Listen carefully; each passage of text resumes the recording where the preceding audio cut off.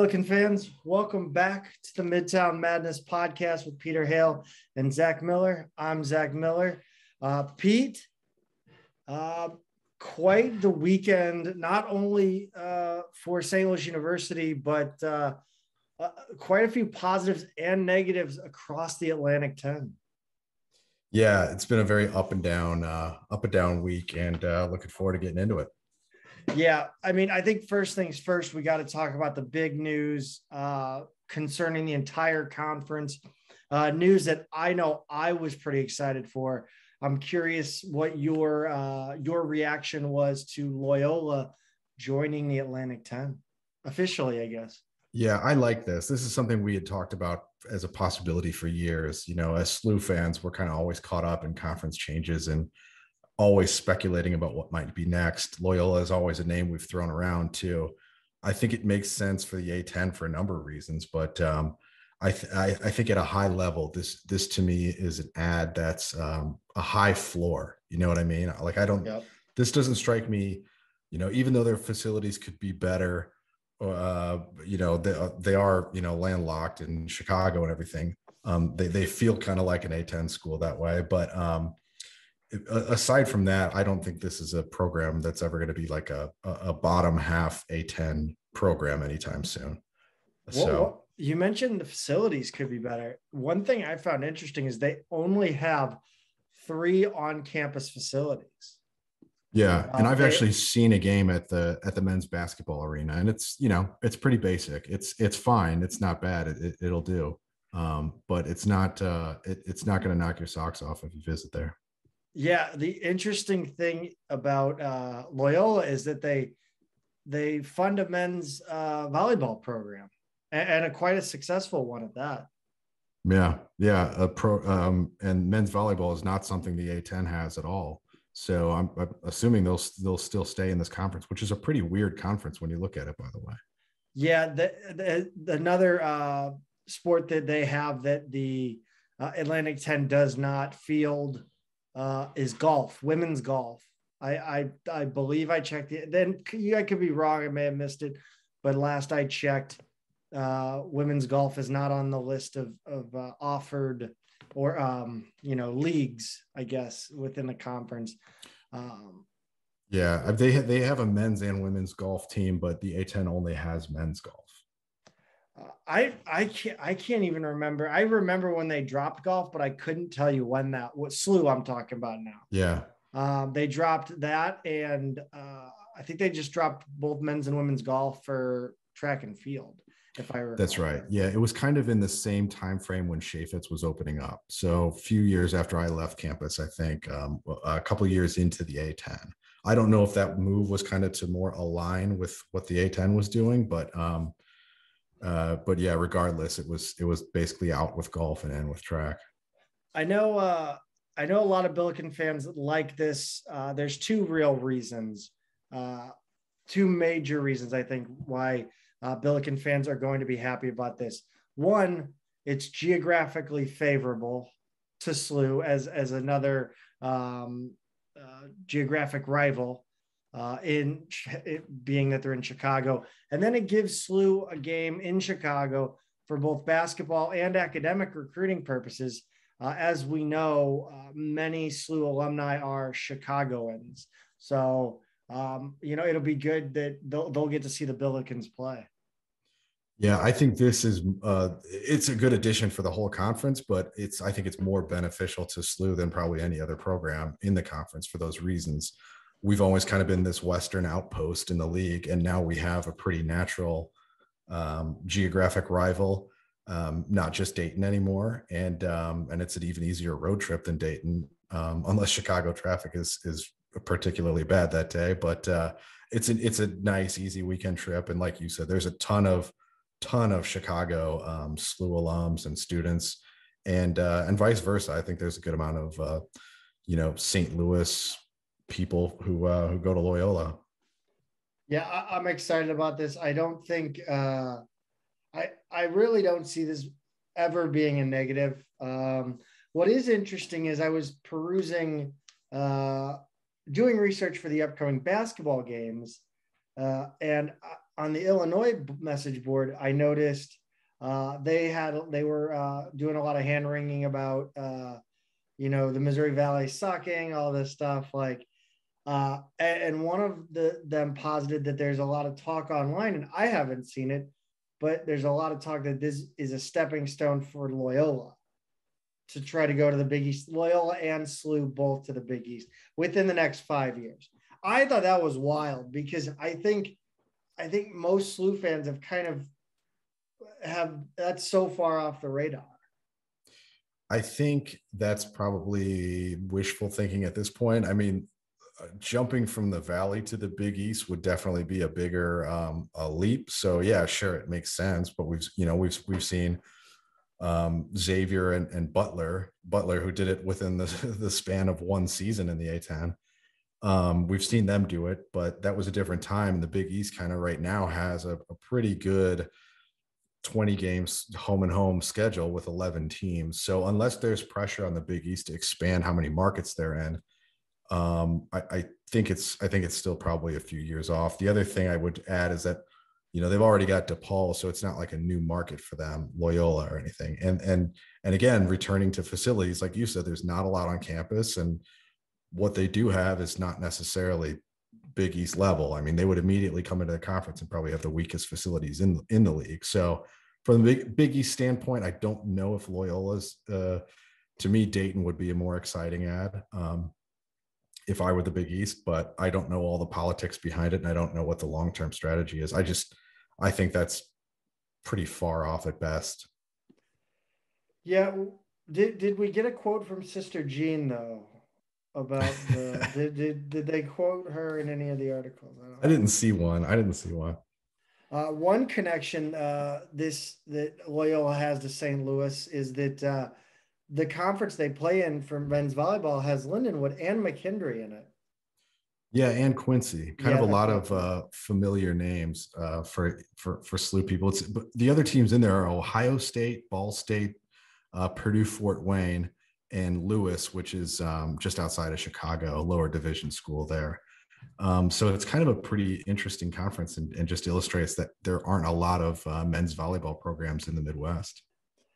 Yeah, I- am excited about this. Um, and, and I know I can't wait to get at least one road trip to Chicago. I'm sure the, the Chaifetzes are excited about this one too. Oh, of course. Yeah, it's it's great. It's great. This is a really exciting ad for SLU fans, and uh, you know we should all be pretty happy about it. The other thing I would add is, if you're just looking at men's basketball, the kind of the flagship money program for the A10, um, Loyola would have brought up the overall conference rating each of the last five seasons, and and they would have this year too. So this is um, this is in recent history been a really strong program. I know a lot of people say yeah, but now they've got a new coach, young guy, unproven. Porter Moser's moved on to Oklahoma. Can they sustain it? Um, long term, I, I, I think they're a top half A10 team for the foreseeable future, even with a new coach. I, I just don't see this program tanking. When I look at their their roster and their kind of what they're doing recruiting wise, um, I, they're definitely going to be competitive in the league. So I think people should probably look at them positively over the long term. Yeah, and, they would have improved both men's and women's soccer as well. Uh, yeah, that's women, right. Women's soccer was at RPI 46 and men's 98. Yeah. So it looks like we could add another decent uh, game, uh, game or two on the men's and women's soccer side. Yeah, and and women's volleyball just won the the Valley, um, and they're the top seed in the Valley tournament. So that's you know they probably get thrown into that cluster um, you know, with Dayton, VCU, and somewhere between Dayton, VCU, and SLU, you know, in that mix, I think they're probably at that level. Oh, you're testing me. You're testing me. we'll we'll get to that later. Uh, men's basketball. Let's get to the reason why most of our listeners actually listen to us babble on. Um, a tough night uh, against Memphis, a 90 74 loss. Uh, not a lot of bright spots, but I think everyone was talking about TJ Hargrove in this one. Yeah, Hargrove had a really big game here. Um, he really competed hard. And uh, I don't, you know, if you had told me that he would have 23 field goal attempts, I would go, oh wow, what's going on? like that's a that's a pretty weird number. But he does end up with 20 and 11 in this one, chips in a, a steal, a block, and an assist. And he played 36 minutes of just really high energy, active basketball. Um, I think kind of Ford looked and and and at the matchups here and how this game was going, and just had a hard time taking TJ off the court. I think I, I think I thought I, I want to get your take, but I, I, really thought this game was kind of encompassed by the the quote from Keanu Reeves and the replacements, uh, his quicksand speech, uh, if you remember that one. I mean, it really felt like the Billikens were in this game. They made plays on defense early. They had opportunities, and they could not finish at the rim. They missed free throws, and as they tried to press and press, they just sank further and further. Uh, and Memphis kept piling it on, and, and it was just uh, insurmountable. Yeah, I mean, aside from the quote from the replacements, which I I do I do not remember. I don't oh, think I ever oh, saw that. Sorry. great one. Uh, great movie. I'll take your word for it. Um, yeah, when you when you look at the first, ah, I want to say six or so six or seven minutes of this game, you kind of saw how we could win and stay in it.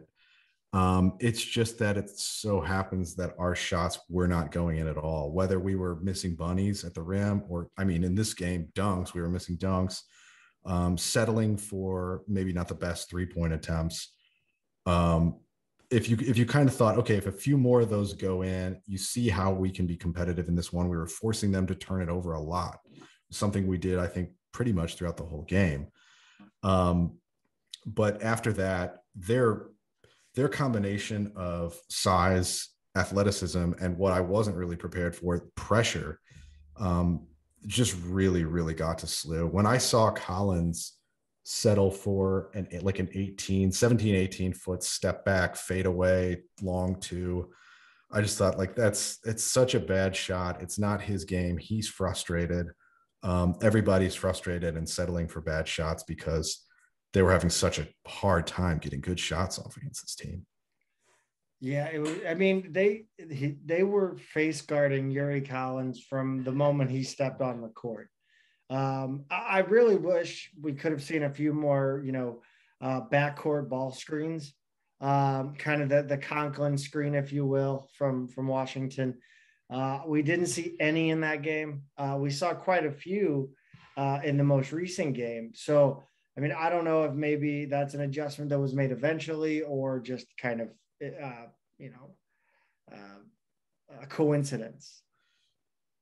Uh, no, I mean, I think I think that's a really good observation. Actually, I think you're right. The other thing is they were they were putting two guys on, trapping him basically as soon as he would cross the timeline, and knowing that he's he's not a big guy, and they were they would take two much larger guys and they were forcing him into forcing him out of his game, forcing him into turnovers, something we almost never see from Yuri.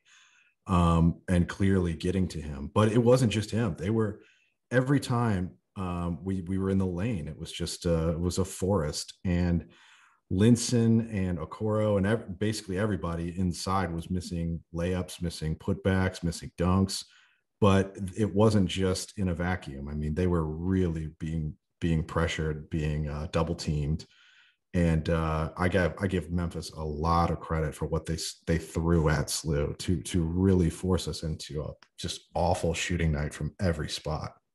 Yeah, super inefficient, and and you talked about an awful shooting night.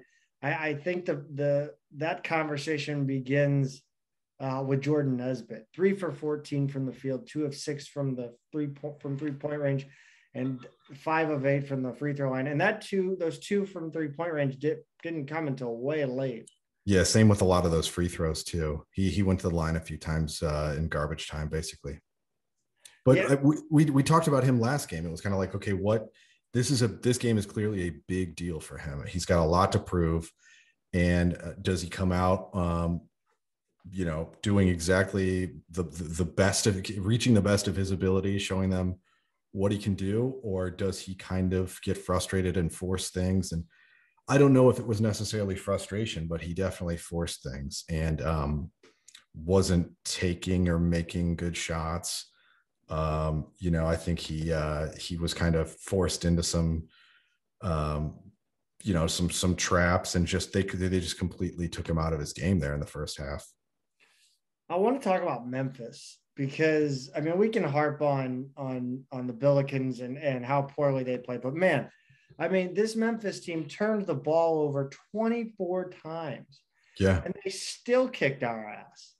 Well, we we we looked at their turnovers and, and we're like, hey, they're turning it over like 18 times a game. This this is kind of a key here if we could do that. So again, if you told me they're going to turn it over 24 times in this game, and everybody on the team except like three dudes are going to have multiple turnovers, I would go, oh, okay, like we clearly executed here, and uh, and maybe this was a closer game than than we thought it would be, but when you talk about this Memphis team, there's so much size, so much talent. It's just just incredible. Um, Emoni Bates is the real deal. You know, played 26 minutes, 16 points, and even though he did turn it over a lot, yeah, it was a little sloppy.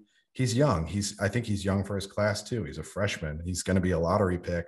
I actually think he's too young to be uh, drafted this spring. I think he has to wait another year to give you an idea. But uh, he and Jalen Duren, it's just just an incredible amount of talent that this team has. Yeah, I want to throw a number out at you. Uh, six, the number of blocks St. Louis University had. Also, the number of blocks Jalen Duren had in this game. And I think that that six for Jalen Duren feels low because of how many shots he disrupted. Like think of think of how many uh shots we got off that weren't clean necessarily because he was there frustrating them. And again, that dude's a freshman. I mean, he's really big, really, really smart player, what he was able to to force our big men into and anybody else who went to the rim.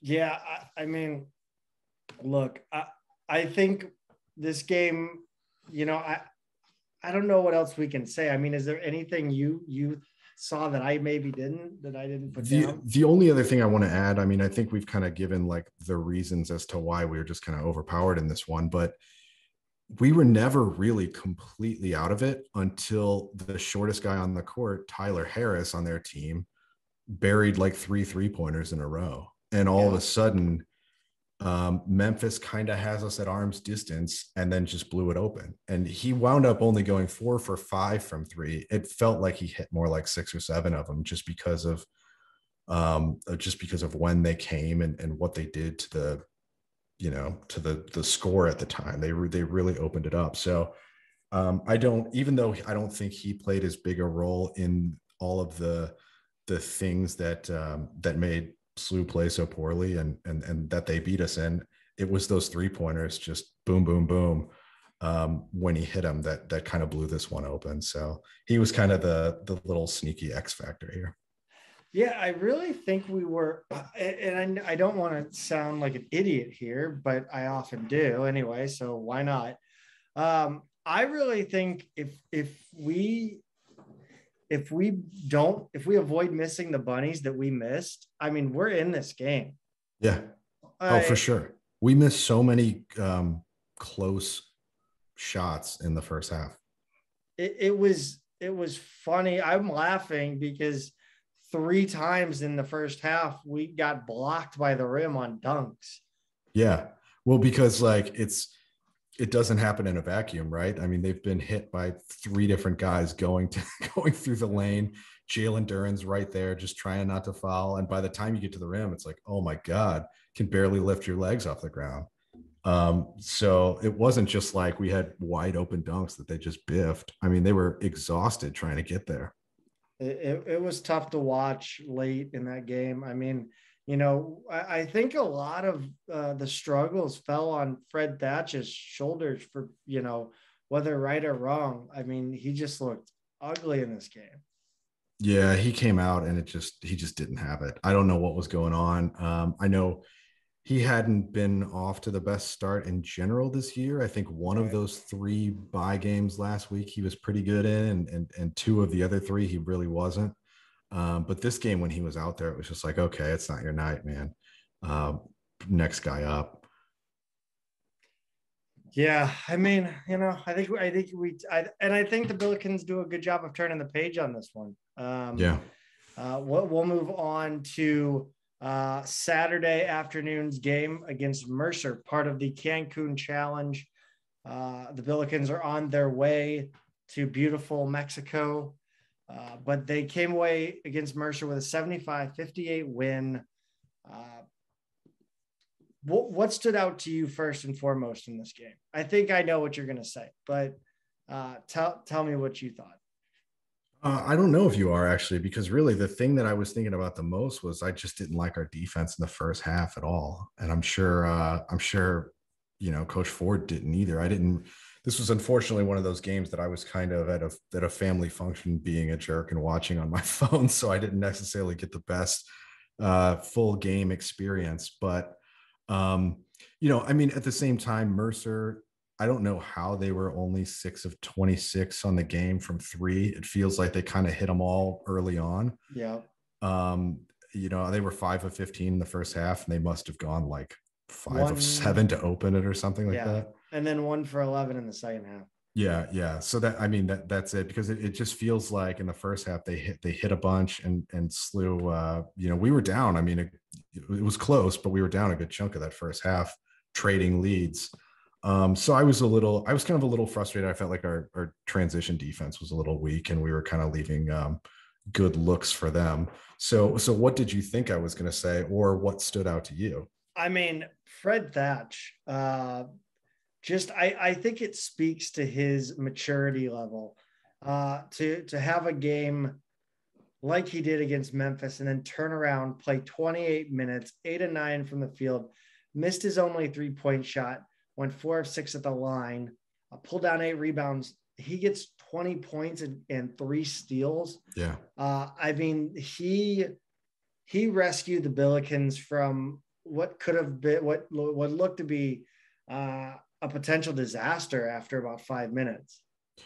Yeah, I mean you're you're absolutely right. I wasn't thinking this of this in terms of just one player, but Fred, uh, yeah, of course. Like coming off that that rough night at Memphis and kind of a slow start to the season, and not to mention all of the chatter. I I don't know how much these guys see, um, but, but I, I was seeing on you know Twitter message boards, even in text message from a couple buddies, like, "Hey, is he all right, man? Is this like?"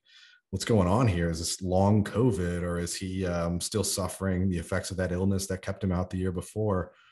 Uh, what's going on here? Um, and then, of course, he comes out and looks uh, like a world beater. Um, just grabbing offensive boards and and scoring at the rim, and just he looked really tough. Um, so all credit, like you said, I mean that's just the mark of experience and leadership and and toughness, just coming out and performing like that. And I, I think there's one person on this team that that needs to maybe take a look at what Fred did there and the way he turned around, turned his his you know week around and I think that's Jordan Nesbitt.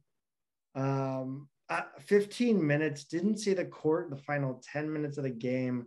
Uh, doesn't make a field goal in this one, goes one of two at the line, two fouls, two assists, one turnover. You know, I know he's a guy who does not, um, he can be a little uh, mercurial, is the word. You know, he's he's emotional, he's up and down. Um, but I don't think he's a guy that necessarily needs to be the one shooting all the time. I think he's also happy to distribute. He likes to be involved. Um, I don't know what was going on in this one. Um, he, it's not like he got into foul trouble. I think, I don't know, maybe he just didn't have the right, uh, the right frame of mind coming out of that Memphis game or something. Yeah, it, I honestly forgot he existed. Um, mm-hmm. Not to be mean, but like I, I it, it didn't even occur to me that he wasn't even in the game. Yeah. Uh, well, he only played 15 minutes. Right.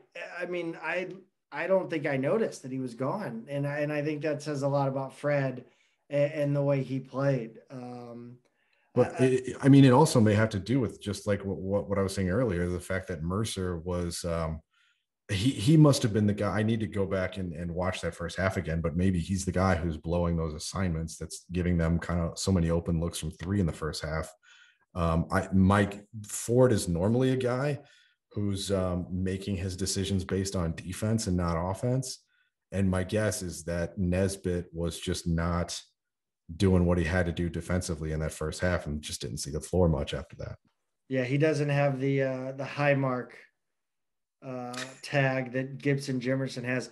And, and speaking, yeah, and, and, and a perfect transition. Way to go, Zach. Uh, Gibson Jimerson. My goodness. Uh, is there? I, I am trying to think of a guy who transformed his the perception of his game more than Gibson Jimerson over the last two years. Yeah, uh, you know, coming in and being thought of as just a spot shooter, and and yeah, he was great at that. You know, the first the first season here, but um, he's really asserted himself in more spots on the floor for sure. Um, I think you said it against Memphis too. Like he he didn't he didn't really get many good looks in that one, but it's not it wasn't for lack of effort. You know, um, I, there are times where he's been accused of just kind of standing on the perimeter and waiting for the ball, and I don't think that was the case. He was really trying to get open. And you guys, and I think people got to remember that. I mean, sometimes Gibson standing in the corner waiting for the ball is spacing the floor. Yeah, I mean, because it, it keeps defenses honest. You have to you have to be ready for that at all times. Yeah, I, I just I really love the the addition of the backdoor cut, which he had. Again, he's shown flashes of that, but um, his ability to get to the hoop and get fouled too. Yep. Uh, I think getting fouled is one of his more underrated uh, attributes, especially when he's lethal from the free throw line. A hundred percent. Uh, and I'm going to throw out another great transition here. Let's talk about the free throw line and Francis Okoro it's so nice to have a big man, a big man who can get it done from there. I know we said that last year with Linssen when he came in, uh, but now having having the the two bigs, um, just really getting it done from the free throw line. Five of six for Okoro. That's where he got five of seven of his points. Um, man, is that a relief?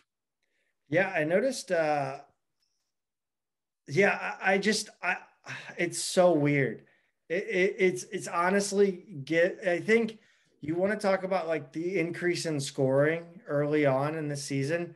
I mean, it may solely be the fact that we have decent free throw shooting numbers now. Like yeah. that's a that's a bump of five to ten points. It was it was very easy for teams to just foul Goodwin and French and whoever else they wanted, knowing that we were going to shoot 50 55% from the line and and they'll take that um, over the course of a game for sure. Uh, can't do that anymore. We've got uh, we've got free throw shooting that keeps teams honest. Yeah I, I, Yuri Collins uh, 33 minutes in this one 311 from the field one of one from three a big three from him I thought. Yeah it was it was great. And the three of 11 from the field I, a little frustrating because I thought a lot of those were some pretty good looks. I thought he was um, not, he took good shots. He just missed most of them. It wasn't like Memphis where he was being forced into crappy shots. Um, so some nights that just happens and he gives you seven assists and um, uh, turned it over a little more than, than we're used to. But, um, you know, so not his best night, but at the same time, yeah, he got it done. Yeah, I I really liked this. This, you know, who I'm speaking of things I really like. I really liked DeAndre Jones's 13 minutes in this game. Yeah, he's a. I, I don't have a specific stat to give you for the, for liking it, other than he didn't turn the ball over once. I, it felt like he was able to come in uh, and, and, spell Yuri Collins, and uh, when Yuri Collins was having a tough time uh, from the field uh, DeAndre Jones came in and kind of gave him some time off the ball and allowed him to uh, maybe uh, not be hassled the entire game. This is kind of exactly who I thought he would be, like this kind of game. This was 12 plays 12 or 13 minutes, gets a few assists, um, gets a look from three. This one didn't go in, but you know, we know he can shoot pretty well from three. Um, this is kind of exactly the the the role I kind of thought he'd be playing on this team. One peculiar thing I wanted to ask you about Marquise Strickland uh, mm-hmm. plays zero plus. He came in for 1.5 seconds at the end of the first half. What what is the what do you think the motive is for for putting him in there? Is length or foul trouble?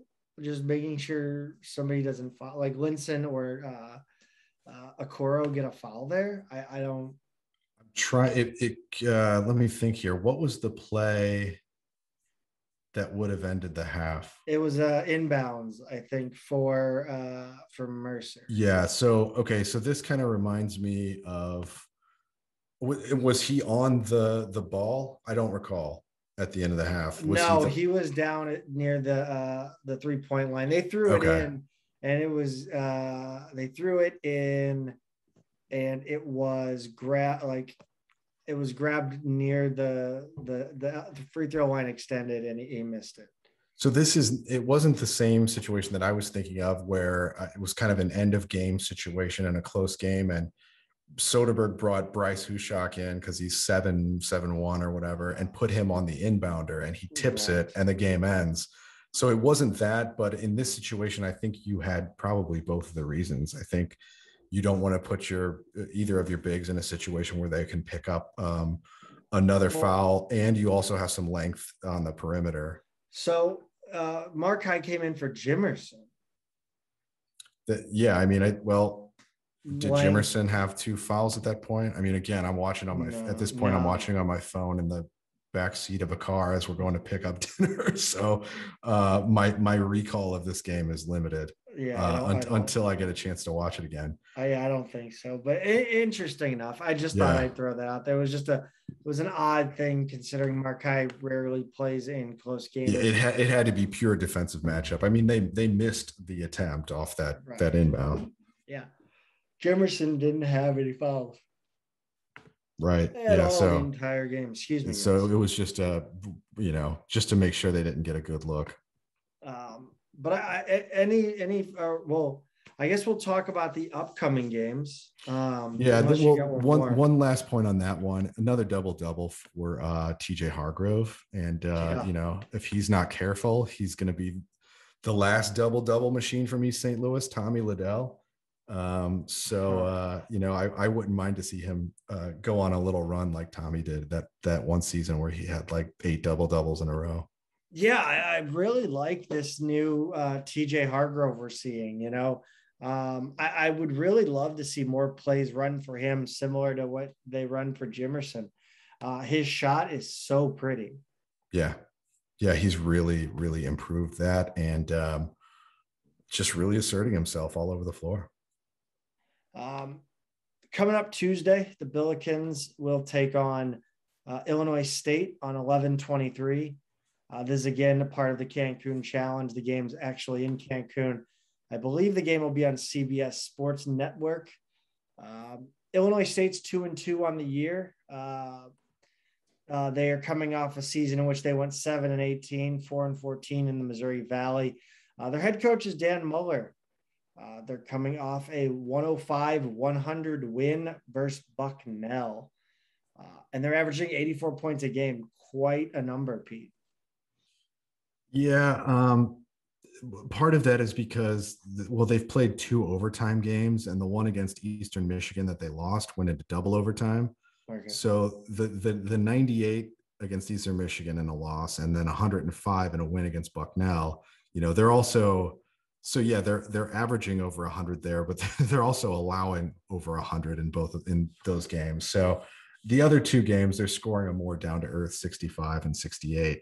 Um, you know, they've played a halfway decent schedule and they're two and two against it, which, you know, I would have thought maybe they go one and three against this, uh, this particular lineup. Um, just because this is a team that was at the bottom of the valley last season and they're kind of in transition, um, in transition this year. Uh, so I, I don't, um, I didn't have very high expectations. So I, I actually think they're kind of outperforming so far. Um, but no, I don't. I don't think this is a team that's going to score that much all season. Uh, one one familiar face. Uh, this I think this is going to become a a, a, a theme. Uh, it seems like we're always coming up against former A10 players, and uh, Illinois State has a, a, a, face that Billiken fans will be familiar with. That's Sy Chatman. Uh, he's a transfer from UMass. Uh, the last time we saw him was uh, January 9th, 2019. It was that three point win. Uh, kind of went down to the uh, uh, kind of went down to the wire, uh, and I think UMass missed a shot at the buzzer to tie. but he's averaging 18 points and 10 rebounds for Muller's Redbirds. Yeah, he, he, was always kind of a, a pesky player for SLU. Um, I just felt like he was one of those guys you just heard his name a lot when we would play UMass. So um, I guess I guess it'll be fun to see him again. Uh, they're led by six six guard Antonio Reeves. What can you tell uh, Billiken fans about Mr. Reeves? Yeah, well, I think he's probably exaggerating that his height there a little bit on the on the roster. Um, he's he's kind of a wiry guard out of high school. Um, still still pretty much so. Um, I can't believe the way he's scoring so far this year. Um, 23 points a game. Uh, but but this is a kid who went to Simeon in Chicago. He's a Chicago kid, and and SLU recruited him. I think he actually came down to SLU for a visit at one point, um, and and had an offer. I don't know how committable it was or any of the details of that at the time. I just know we recruited him, and um, didn't know he would quite evolve into the scorer. But yeah, he's been a really nice player for uh, for Illinois State, who's got who's made a big jump um, each of his three years so far. Um, they are led by uh, sophomore point guard. Uh, well, the, the offense is run by sophomore point guard Mark Freeman. Uh, this guy has the the uh, the capability to go off at any moment. Yeah, I think so. He's tough, tough little guard. Only about five ten. He's out of Memphis, um, but he's uh, I, think he's a nice player. A little bit, a little bit younger. He's only a sophomore, and um, I think it'll be a tough matchup for for Yuri. You know, he came from from Tennessee State, um, where he was really productive. Uh, so so at 5'10, 160, he's small, but um, I don't know. I, I, I feel like he's going to give Yuri a bit of a game here. Yeah, it'll definitely be a fun uh, small guard matchup. Mark Freeman's yeah. coming off a 34 point outing in that game versus Bucknell that went to overtime. Uh, so he he can he can fill it up, and uh, it would it'd be fun to see a, um, you know, kind of two point guards going at each other um, on Tuesday night. Yeah, I think the the the thing with Illinois State, I kind of like a few of the these guys we've mentioned at the top, but I, I don't think they're particularly deep. Um, I think once you go to the bench, it's it's a pretty big drop off for them in terms of talent and uh, and experience. They've got a lot of you know they're, they're big in the sophomore class. Um, so they've got a lot of uh, second, maybe third year guys who haven't played a whole lot yet. Um, so I think if we can kind of, you know, neutralize these these starters, maybe get them into foul trouble, something like that. Um, you know, Illinois State doesn't have much of a bench. Yeah, and depending on uh, how the Billikens do in the game against Illinois State, they will take on either uh, Buffalo or Stephen F. Austin. Uh, Buffalo uh, is two and one. Uh, last year they were 16 and nine, 12 and five. Uh, they made the NIT first round. they're they have a head coach who Billiken fans should be very familiar with. who is that head coach, Pete? Yeah, Jim Whitesell, um, who who you'll remember as an assistant. Um, at, at SLU not too long ago. And honestly, he's been pretty good at Buffalo. This is a solid team every year. That's that's kind of at the top of the MAC, and uh, you know was in the NIT last year. Um, they're kind of always in the mix to to win that conference and and and get the bid. Um, the they are uh, earlier this season. Uh, Buffalo lost to number six Michigan, um, 88 76. So they gave him quite a game. So uh, impressive stuff uh, by Buffalo in that one. Uh, Whitesell's not the only familiar face on this team, Pete. Uh, Maceo Jack transferred over there from George Washington. Yeah, and he's averaging close to 14 a game on on 38% three-point shooting. I guess the, the good news here is we've seen him a few times already. So um so SLU kind of knows what he can do. The the bad news is is now he has teammates that can beat us. That's yeah, they're I think they are probably a little bit better than George Washington, that's for sure. I think I, they have a player who may have my favorite name of 2021 22 season, Jeenathan Williams. That's right. not Jonathan, Jeenathan Williams, six five forward. Uh, he leads them in minutes, a bit of a stretch forward, too. Yeah, and who scores about uh, almost 22 a game. Um, he's a guy, he's another one. And as soon as you said Jeenathan, um, when we were getting ready to, to, to record, I was like, wait a minute.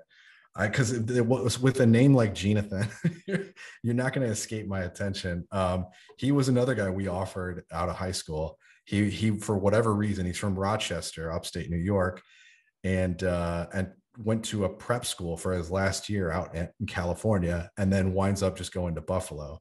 So I, I don't think he necessarily had to make that. Maybe he just wanted to spend a year in California because, you know, he he, he easily could have landed at Buffalo out of Rochester. But nevertheless, he's a nice a nice player, kind of a, a wing forward um, who can who can shoot it, who can slash, um, does a little bit of everything, and he's going to be a tough matchup. Uh, one other note: they are uh, their their offense is run by point guard uh, and senior Ronaldo Segu, uh, a nice little point guard that uh, w- that has plenty of experience. So uh, should be another matchup, a potentially good matchup depending on results for Yuri Collins. they take on Stephen F. Austin, three and one. Last year they went 16 and 5 12 and 3 they're they're coached by kyle keller. No familiar faces on this team.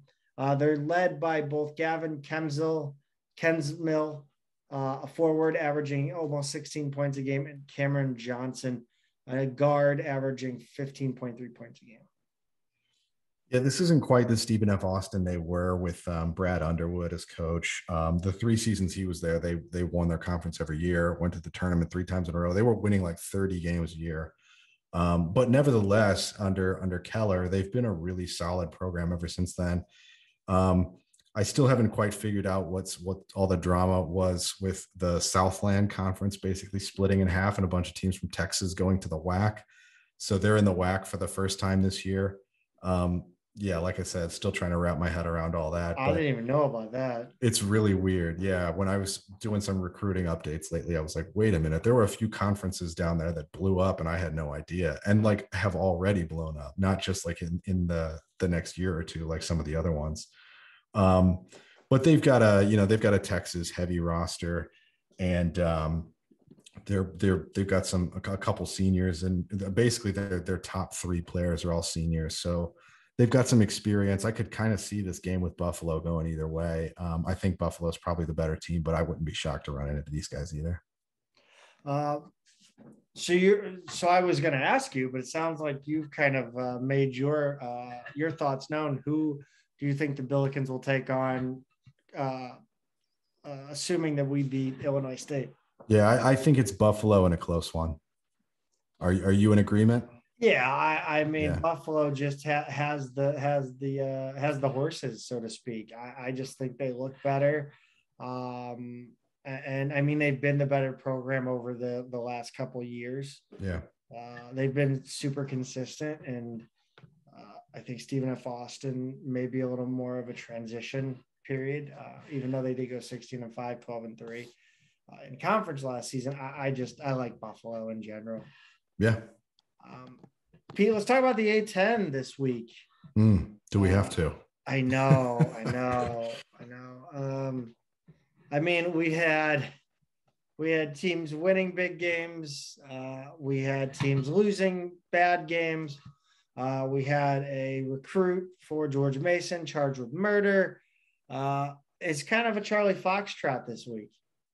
Yeah, it's been all over the map. I mean, when you starting with this first day, you see Fordham get their second win, um, and then uh, and UMass beat Penn State, and it's like, okay, you know, we're in pretty good shape here. And then Duquesne loses to Weber State, so it's it, it that's just like a perfect snapshot of of what's going on all week, and that was just on Monday night. I, I feel like I always have to take time to remind people that Penn State basketball stinks. Yeah, yeah. Like, basement of the Big Ten every year. I mean, yeah, I, I don't know. Um, Tuesday, uh, another um, kind of uh, you know up and down graph of a, of a day. Uh, Richmond over Georgia State. uh, by a lot. Uh, Memphis takes care of your our Billikens. Uh, and then, I mean, you got Cal State Fullerton whipping George Washington. Yeah, at least that one was out on the road, though. Um. But I think we kind of know George Washington's in for a long season. It was interesting to see, you know, George Washington and uh, Davidson both went on the road all the way to California. Yeah, yeah, that's right. Davidson and uh, where, where were they? San Francisco. San Francisco. Yeah, yeah, that's right. Uh, uh, Curryland. Right. Talk to me about Wednesday, though. I mean, holy moly. Yeah, Wednesday was a wild. Wednesday was a wild night. Um, so you've got you've got Rhode Island that takes care of business against Boston College, and we had some great opportunities here because we're playing, you know, three power conference teams. George Mason gets the upset over a ranked Maryland team that was, um, I think, number 20 or 21 at the time. Uh, yes. And then VCU goes on the road and wins a brutally ugly football score of a game, 48 37 over Vanderbilt. Um, two teams that are just apparently just going to struggle to score this year. So we, we look at that and we've got, okay, three power conference games, um, all on the road and all wins and then we, and we turn to Dayton, who gets uh, blown out, honestly, by Lipscomb. And um, LaSalle goes on the road to Delaware, loses in overtime. And then you've got uh, St. Joe's, who I think is another team that's in for a long season, uh, loses a crosstown rivalry to Drexel. So three really nice wins and three really bad losses. Yeah, just I mean this conference, man. I, I'm past. I'm past caring about like the net. Like, honestly, I just want to see the world burn in this conference, except for SLU. Like, I, I mean, it's it's our like. It, I mean, Davidson is going to do this thing where they lose to like New Mexico State by nine, and then go and beat Bonaventure. Yeah, twice, twice probably. Right. Yeah, Bonaventure, um, who beat uh, you know Boise State on Thursday, um, in Charleston, um, and apparently they've brought their entire alumni base to Charleston. They're just having a blast down there. Um, they're going to be really, I think, the only other team that we're going to be able to rely on this season. You know, um, if if Dayton's going to be any good, it's going to take a while to come together. Um, they've got a lot of young talent. Um, some of these other teams, I just don't know yet who they are. So I, I think I think we just really need Bonaventure to be that rock solid team this year. Yeah. Uh, speaking of Bonaventure, uh, they, I mean, they they've had a hell of a weekend in Charleston. Yeah. Yeah. Like I mentioned, they beat Boise State, um, you know, the same night that uh, UMass drops to uh, Weber State. And uh, I believe they wound up winning this whole thing. They the next day they go to uh, they they they face Clemson and win by three. Um, and then do I have this right? Did they uh was they're that up it? by 20 right now. They're up by 20 right now. Okay. 24.6 so, seconds to go. I think they're good. Yeah. So and that's against Marquette in the final of this thing. So yeah, Bonaventure is um is who they thought is who we thought they were. They're they're quite good this year. Uh, you know, Davidson beats Penn, UMass beats Greensboro, uh, then Duquesne drops it, drops 16 point decision to Northeastern, not Western, Eastern. Mm. Uh, Fordham loses to Maryland Eastern Shore. Yeah. Uh, th- those who are of a certain age, aka my age, will remember Maryland Eastern Shore as the team you would start with at like college hoops 2K8 because they were horrible. And, yeah. and nothing has changed in the last 13 years. No, and and it's worth noting. Um, well, not only did KenPom have them as a bottom five team to start this season, they did not even play last season. They were one of the programs that just opted out of the entire season. And the year before, they were terrible. They won five games, and only four of those were against D1 teams, um, all in their same conference, which just isn't a very strong conference. So yeah, this is a bad this is a bad loss, but it's also worth noting that Maryland Eastern Shore went to St. Joe's and took them to the wire. Um, and I think that says a lot more about Fordham and St. Joe's than it does about Maryland Eastern Shore because they're still going to be bad. Yeah. Uh, here is a here's a game that I ended up find I was able to find an illegal stream for, uh, and watch. Uh, and also, I think I, I I woke up the morning of this game, this Mason James Madison game. I woke up, I see the line is minus three and a half, and I text Carter Chapley. I said, "Tell me why I shouldn't put a thousand dollars on George Mason to cover." And this is why you don't put a thousand dollars on George Mason to cover three and a half because James Madison wins 67 64. Thankfully, yeah. thankfully, I realized that Vegas had to have known something that we didn't. Yeah, I that was weird because like um had I put in picks for that day and and trust me, I don't gamble a dime on sports. I, I just don't trust it. This is exactly the reason why. Because I would have looked at that and just thought exactly the way you did. Like, yeah, easy money. Uh, but James Madison comes away with a three point win here. Yeah, I think the first like 10 or first five minutes of this one, you could just the way the score was going, like it just was like, yeah, I think James Matt, I think it's their night. I, I don't know yeah. what it was about it, but uh, uh, UMass Lowell by the end of this weekend, they're gonna be uh, top of the A10.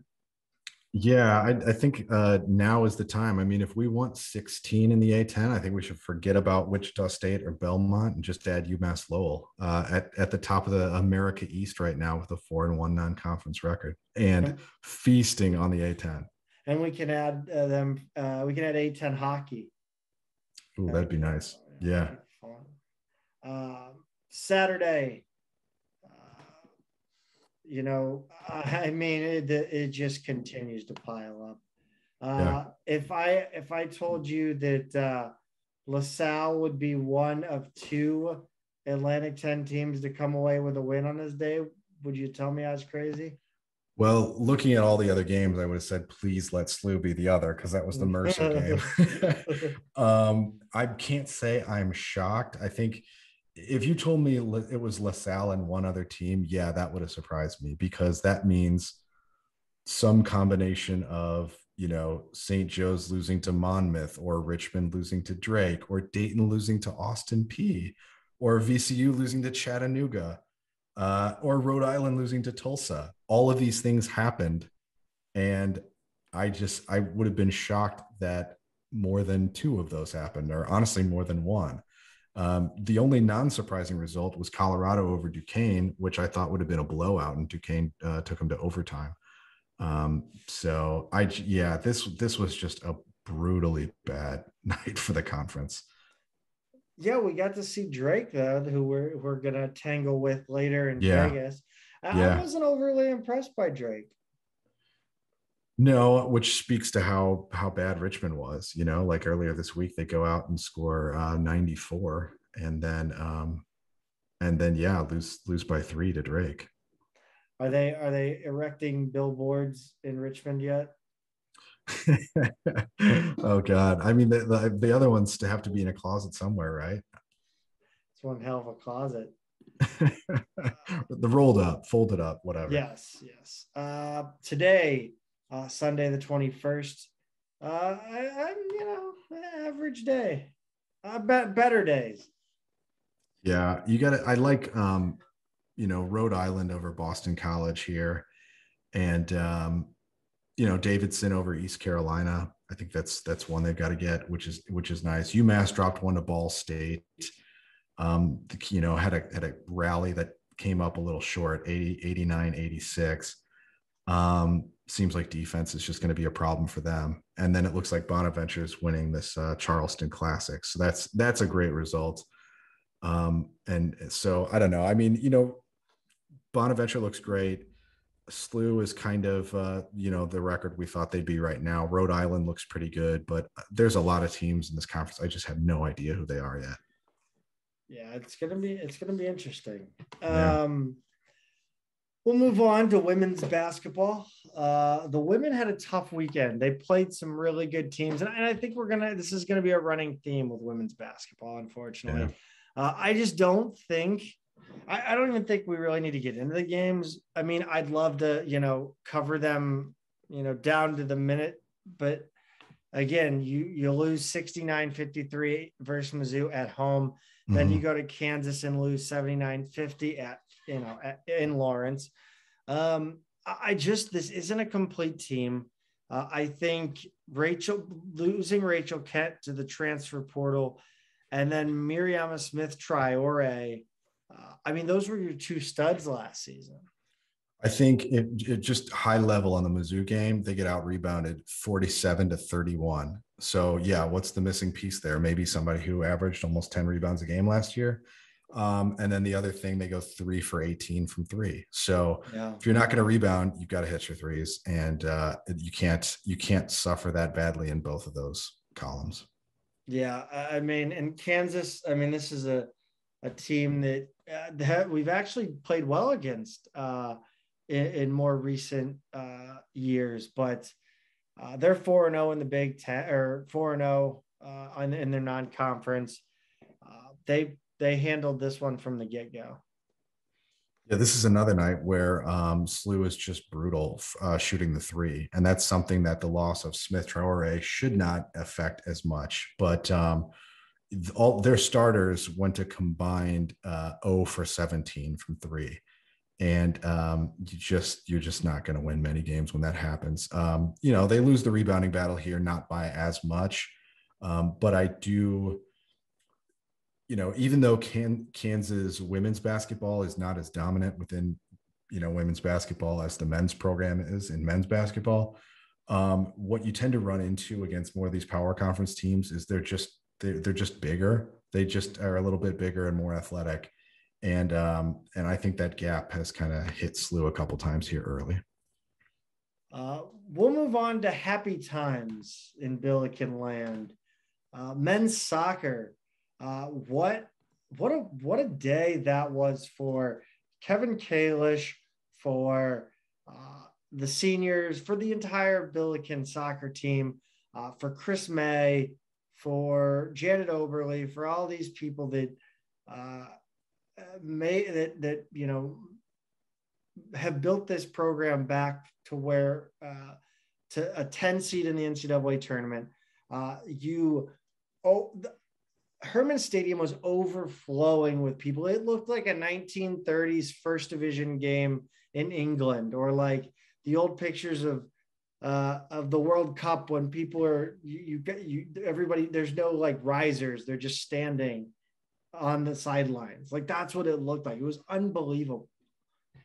Yeah, it was. Um, the reported crowd here was 6,815, but seems like what from what you had to say and what it looked like on the on the the broadcast it looked like that was a pretty conservative estimate yeah i mean look like i, I know I, I think at least 10 people talked about how do we like there's no way we actually need a ticket to get into the game because you i mean people were just walking in it, yeah. it was it, it was crazy i mean people started showing up. i mean that people started filing in an hour before and it did not stop. Uh, I mean, there was a massive tailgate on top of Olive Compton. Uh, a lot of SLU alumni and family and friends were up there. Um, uh, the alumni were all out. Uh, Robbie Kristo was out. Uh, Alex Sweeten, Mike Robeson. Um, you know, and, everybody came out for this one. Um, the entire city. It was it really was a St. Louis soccer reunion. That really what is what this turned into. This is one that they they really hyped on social media leading up to it. Like, let's sell this thing out. Let's break a record. Let's get as many people there as we possibly can. And you never quite know what's going to happen um, until the event actually takes place. But people came out. I mean, this was a great game. You know, um, I right before we sat down to record, um, my my friend Tim texted me. I took the family to uh, the soccer game today. What a performance!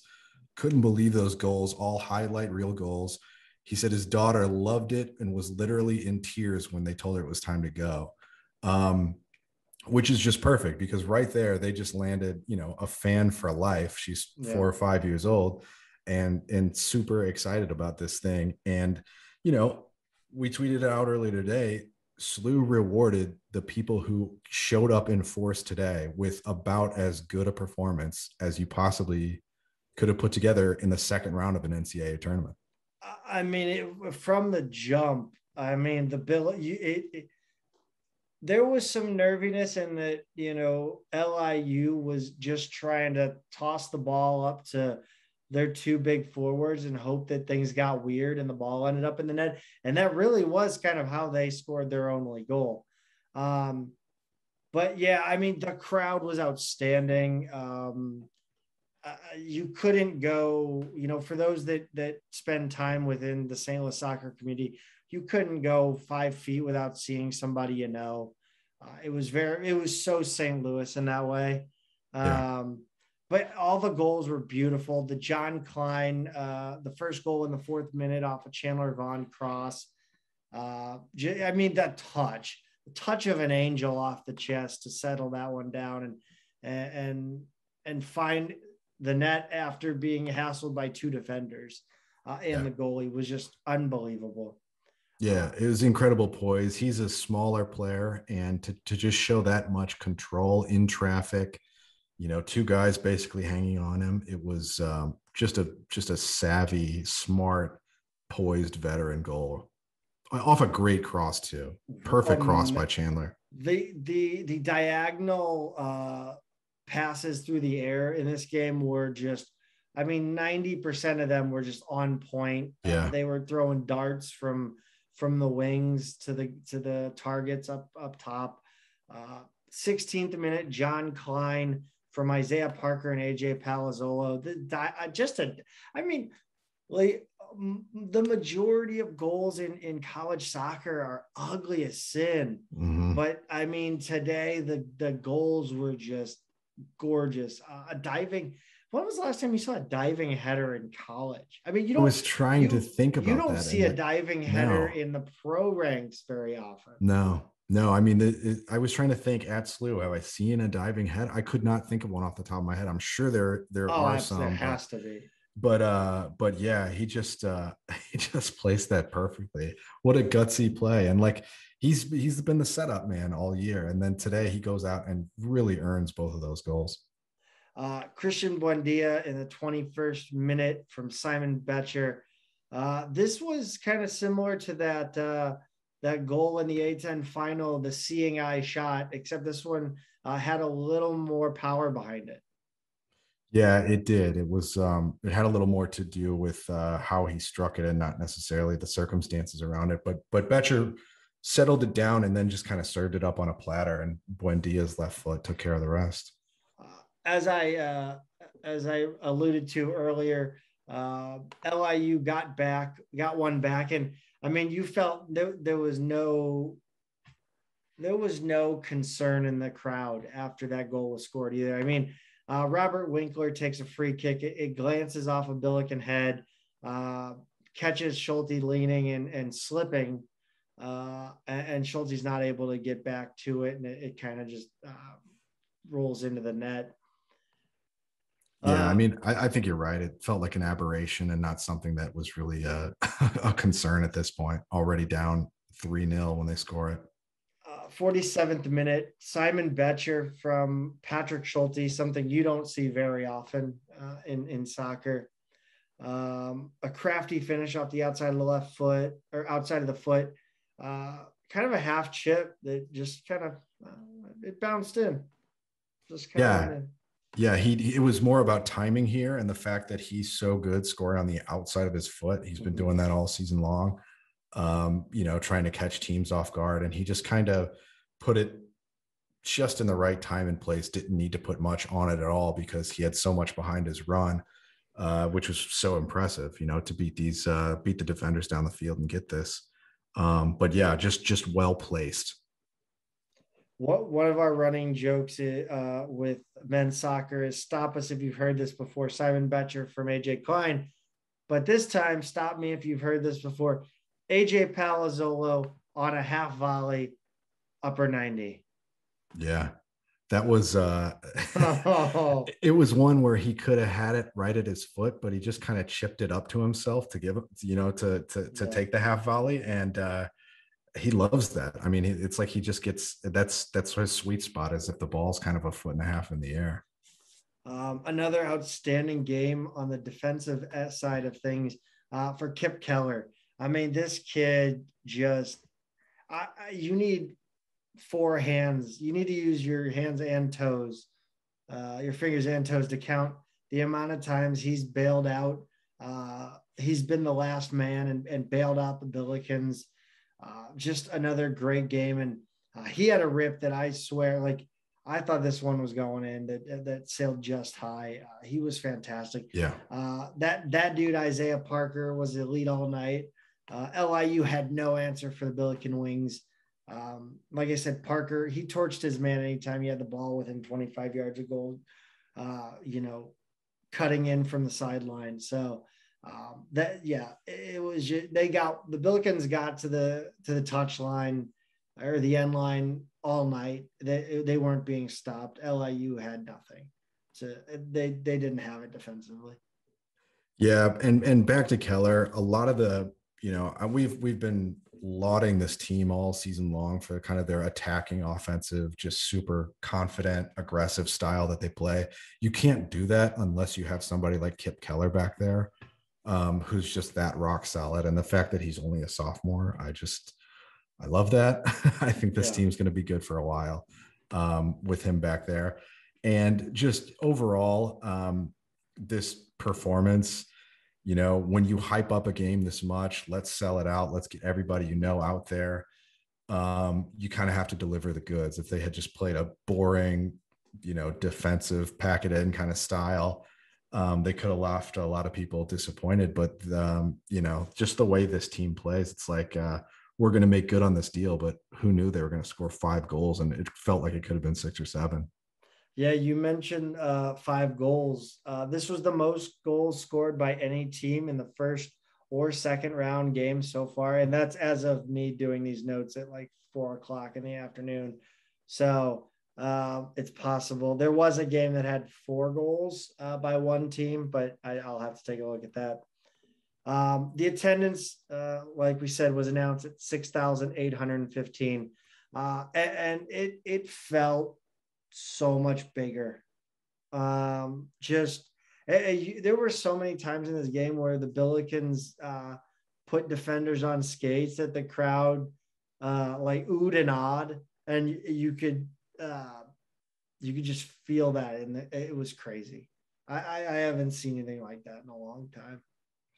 Yeah, I, I, I, guess I should add to our notes that since then, uh, Hofstra did wind up beating Penn State eight to two. Oh my um, god! Yeah, which is technically an upset because Penn State was the number twelve overall seed and Hofstra is not seeded. Um, and then the team that they'll play next, uh, Pitt, beat Northern Illinois five to two. That so was both, the one that I was looking at. Yeah, I but, didn't even uh, see Hofstra.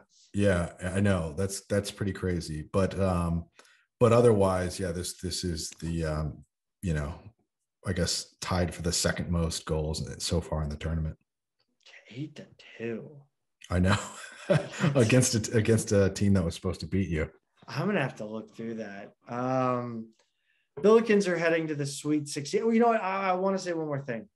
Um, and this isn't a, a dig at, at, at, anything in the soccer program, but you know, it, it's hard when for so many years, like people are kind of kids can run roughshod over the uh the stadium because not and no not not many people are there and it doesn't matter. But i feel like when you're expecting to have 6815 people there you know 6 to 7000 uh, I, I, would like to see them add ushers or some sort of uh, you know pseudo security um, because I mean, you just had a lot of people walk like when you don't when you have bleachers that go all the way down to the the concrete or the grass, like people walking in front of you is brutal. Um, and, and, of course, kids are running up and down the bleachers constantly. Uh, and when they do, there's more of them now because there's about 7,000 people. So I, I, really would like to see them maybe take a look at that uh, the next time they try to do this um, or hopefully when we host a uh, elite eight game. Uh, possible because we're not going to host a Sweet 16 game. We'll get into the the permutations for which that could be possible. Um, up next is the Sweet 16 at seven seed Duke Blue Devils. Uh, they avoided disaster today, uh, a 2 1 win versus UCLA. Uh, they gave up an early goal to the Bruins, and then uh, uh, within the last 10 minutes of regulation, scored two goals, and uh, they they knocked UCLA out of the tournament. Um, you're going to see high pressure from Duke, uh, and, if the Billikens can can absorb it and take advantage, I, I don't see why the Billikens can't go to the Elite Eight. Um, uh, they're led by uh, Thorleifur Ulf-. Did I? How did I do? Yeah, let's go with that. Yeah, 14 goals on the season. Uh, Duke scores uh, 2.1 goals per game and gives up uh, a goal even per game. Uh, I don't see any reason why the bill. I mean, the Billikens are rolling right now. Yeah, it's kind of, it's kind of wild. Duke uh, wins two to one, which is exactly their season average score. But that's, I mean, that's well, I mean, that's not a season average score that scares you, right? I mean, it's it's not a team that scores three or more goals a game. It's not a team that shuts everybody out. Um, they're just really solid. They're they're they're a good team. But yeah, you're right. There's nothing here that necessarily scares me. Um, I think the one thing that I would be worried about is we see a game like, uh, and look, I haven't seen Duke play all year, but maybe they look at a game like Fordham uh, where a team just kind of plays really solid. They, know what we're going to do. They play really solid, um, you know, park it in front of the net defense all all game and kind of force this thing into uh, into overtime and and maybe anything happens. So that's the one thing I kind of worry about is if the game kind of goes that way. Um, but otherwise, I I just I you know obviously I'm biased and this is the team that I've seen play all season long. But um, I just love what SLU's doing right now, and, and I, I, yeah, I feel good about this one. Yeah, I'm excited. Uh, I, I as as much as it pains me that we're not going to have a home game because I would love to tailgate again, yeah. do all that fun stuff. It, it's going to be nice to sit down on the couch and watch this one. I think. Yeah. Um, uh, there's something about watching these games on TV and them being big. It just feels like uh, you're you know, uh, dealing with a, a, a big time pro league, I guess. Right. Yeah. Do we have a game time for this one yet? No, we don't even have a game day. It could okay. be Saturday All right. Sunday. It hasn't officially been announced that it's going as of right now. And you know, we record on uh oh actually, you know what? They just threw it up on the that's crazy since since we've been talking. It's on the official site now. We are playing Saturday the 27th uh, 6 p.m. St. Louis time, Central Time, um, in Durham at Duke. So that is all official now. So it's Saturday the 27th? Saturday, this t- Saturday the 27th at 6 p.m. Central. And, and the good news is it does not uh, conflict with any other Billiken events. So, right um, that that's good, uh, and I'm sure it'll be on the AC. It will probably it, it, it very well could be on ACC Network. Uh, yeah, the, the over the air channel. Right. Um, yeah, so that's possible. That would be that would be awesome. Uh, more people would be able to see it then. I think. Although I don't know how many people don't have ESPN Plus. I, I I, I can't imagine not being being a SLU fan. If you're listening to this podcast and don't have ESPN Plus, what are you even doing? Yeah, I, I, mean, it's the it's the, like the best bargain in streaming by a mile. Um, the one thing I do want to add, this will actually already this is official. This is the farthest SLU has been in the um, NCAA tournament since 2003. Um, when they lost in the quarterfinals uh, to Maryland at Maryland, four to two. Um, in the third round, they beat Washington in overtime. So um, officially the farthest they've been, furthest they've been in the tournament uh, in 18 years. So uh, it's great to see SLU kind of getting that magic back.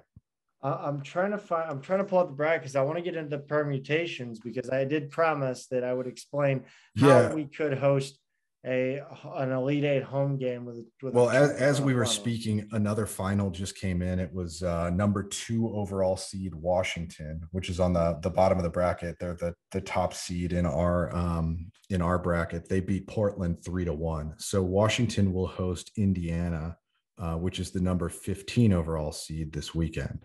So um it, it, I, I, think the permutations you were going to get into is if number two Washington wins, we'll will likely travel there. Uh, but if Indiana wins, we could be coming back to St. Louis if obviously we get through Duke. Yeah, and, and I think uh, as many uh, St. Louis soccer fans know, Indiana always has St. Louis flavor to it. Uh, assistant right. coach, uh, actually, he's the associate head coach, Kevin Robson, brother of Michael Robson, uh, who played at St. Louis University. Um, they've got Lucas Hummel from Fenton, Missouri. Um, I mean, just I mean, Glen Carbon, Illinois, Lawson Redmond, uh, Joey Maher, uh, Caseyville, Illinois. Um, I mean, there's always St. Louis flair. Nathan Gabri from Wildwood. Uh, yeah, I, I, it's gonna be it's gonna be interesting to see uh, how this goes. Yeah, it's also kind of history on the line. I kind of like this uh, th- this angle is that um, Indiana has the second most titles in in mm-hmm. history to SLU. Theirs have all been uh, more recent. You know, SLU hasn't won since the '70s, and they've got a, basically eight since then. So uh, it would be, you know, if, if Indiana manages to upset Washington, um, it would be nice to have a chance to uh, to be the team that ensures they don't put a ninth star on their crest. We'll move on to women's soccer. Um, they they, they gave it their best. I, am going to be honest. There, there's nothing wrong with this loss. Um, normally, I am upset, and, and I did kind of walk away with it from this game at, at three nothing. I'm going to be honest with you uh, because it was a bummer. I, it was more just me being bummed out that they lost than being upset that they lost. Um, a 4-0 loss at Rutgers. Uh, this Rutgers team was unbelievable, Pete. The um, from the jump, the speed of of Rutgers stood out, and then by the time they scored their first goal in the fourth minute, the skill yes. Uh, was pretty obvious. Not necessarily for all eleven on Rutgers, but uh, from from enough. Like the top half of their roster or starting, you know, lineup seemed to be just another level of skill. Like like their best players to me look like future women's pro players. Yes, and, and they definitely are. And I think I think some of their it felt like some of the the uh, space that Rutgers had was self-inflicted by the Billikens. Um, I thought the Billikens um, were were very aggressive, uh, but they were swinging their legs at the ball. Yeah. Um, and I felt like it made it all that more easy for uh, a more talented Rutgers team to kind of dice them up. Um, fourth minute, Amirah Ali gets her 10th the season from Frankie Tagliaferri and Riley Tiernan. Uh, and the Billikens played pretty well. They weathered that first half. Uh, one nothing going into halftime. Uh, again, four minutes into the second half, Riley Tiernan gets her seventh from Amirah Ali. Uh, and then 20 minutes later in the 69th minute, Tiernan gets her eighth, this time assisted by Emma Mizal. Uh, 79th minute, Kylie Dagley uh, gets her third of the season. And that's all she wrote for the women's soccer season. Yeah, I felt really lucky to be down one nothing at halftime. Mm-hmm. Um, it was one of those where you know we're outshot 14 to 3 in the first half. Um, you know, uh Piricelli makes eight saves. You're just kind of like, oh my God, you know, what just what did we just run into? Yeah. Second half, you're hoping you think, but but at the same time, you know, one nil, like, okay, I mean, maybe just maybe i mean i've seen stranger i've seen plenty of soccer games where the team that dominates does not come away with a win. Anything's possible. Um, but of course you know four minutes into the second half uh, when they go up 2-0 it kind of that that's where it kind of felt insurmountable and the you know the next two goals just kind of felt like formalities. It, it really did feel like watching like a fifa. Like that's like a game like people playing fifa. Like yeah. That's how easily they they connected passes. That's how easily they uh, diced. They you know they they sped through the, the defense uh, with the ball at their feet. Uh, it, it just it, it, they're on another level. Um, yeah. They the women finished the season 13 9 and 1 7 and 3 in conference. I think uh, one of the biggest notes is that the top eight in minutes played this season, two seniors, only two. Yeah. So, Um, not I guess what Frederick Halverson. yeah, Um, yeah. So so look, the future is bright. They're still going to be the program to beat in this conference for the foreseeable future. yes, absolutely. I see no reason why uh, next year shouldn't be the fifth, uh, fifth straight NCAA Yeah. tournament. Yeah. Oh, I I, I think that's got to be the expectation. And then, you know, look, the, like like you said, there's there's there's no shame in this one. This was just a really really good Rutgers team. Um, I can't believe they have three losses this year. To be honest with you, um, the you know what from what we saw with that team, it was like, my God, they're just next level. They they really are going to be um, very much in the mix for this title. Uh, so you know we'll see what happens, but but hats off to SLU and the fact that they got a tournament win this year is great because they're coming off three kind of frustrating outcomes uh, in a row in the tournament where they get there and uh, didn't come away with a win in any of those. So um, they they won their first round this year and they did it on the road and they did it against a power conference team um, after suffering through a pretty tough uh, up and down season. So you know, I I really like the the way that they stuck with this and d- didn't quit on it at any point in the year. Yeah, what? I guess we gotta we gotta switch to volleyball, don't we? Uh, yeah, I guess we have to. Yeah, we're gonna we're gonna finish up volleyball here. Um, Billikens end their season in the first round of the A10 tournament, an extremely disappointing loss. Uh, 3 2 versus Fordham in Pittsburgh at the UMPBC Center, uh, whatever it's called. Uh, they finished the season 18 and 12, 11 and 5 in conference. Uh, just as I predicted, um, you know, that look, this is a this is a program that over, over 10 years under Kent Miller has not finished above third.